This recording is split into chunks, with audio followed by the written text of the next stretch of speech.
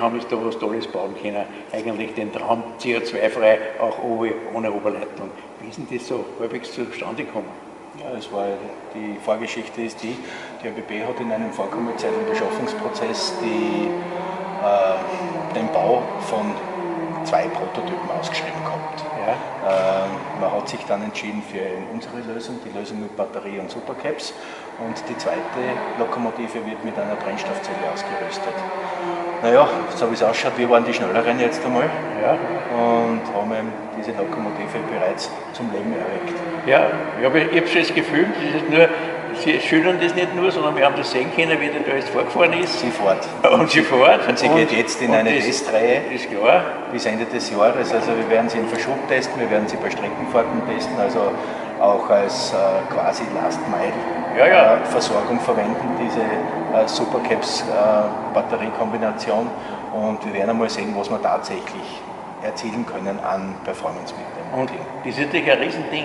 Normalspur und so weiter. Ja. Ich glaube, unsere Schmalspurbahnen mit einem viel weniger Gewicht und eine kurze Strecke nur war ja, glaube ich, eine optimale Lösung. Ja, definitiv, weil wir reden davon schon von Gewichten, äh, dass wir mit dieser Lokomotive jetzt mit der Batterie und mit den Supercaps im Verschub bis zu 1000 Tonnen nacherziehen können. Und für die Streckenfahrten haben wir jetzt einmal kalkuliert mit ca. 400 Tonnen das wir eben bewegen können. Wie weit rechnet man nur prinzipiell? Rechnerisch 30 Kilometer. 30 Kilometer. Also wir haben ja eine Bahn, Kilometer im wir haben ja Bahn in Beethoven hin und zurück 10 ja. Kilometer. Ja, das, das, ist immer noch ein tolles quasi. Also technisch sicher machbar. Dürfte kein Thema sein.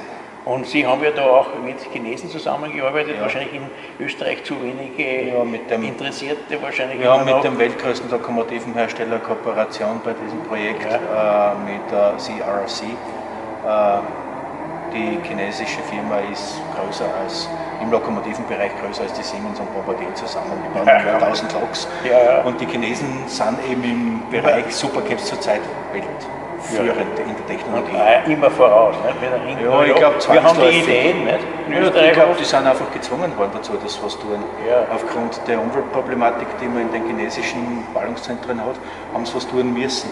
Und ich bin nach wie vor der Meinung, dass bei uns solche Lösungen, wie wir es da jetzt da haben, äh, durch die Erdöllobby einfach unter den Tisch gehalten werden.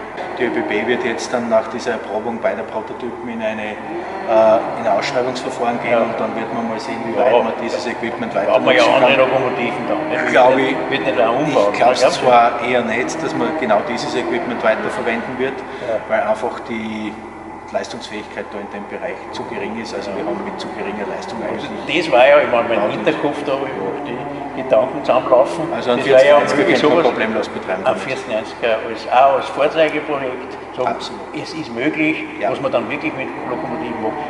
Ich freue mich, dass wir ja vor ich glaube vor zwei, drei Jahren haben wir schon Verbindung aufgenommen und vielleicht wird es mal was, das Ding hat gut Weile. So ist es ja.